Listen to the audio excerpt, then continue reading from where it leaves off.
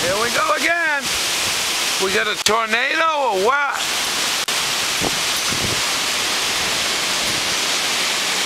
I don't know, man. This is freaky. Ah, look at these trees going, man. Holy shit.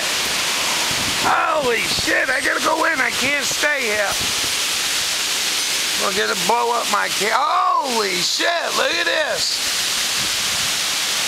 Tornadoes in Maine, possibly, or just some strong winds? I don't know. I don't know, man. All right, thanks for watching.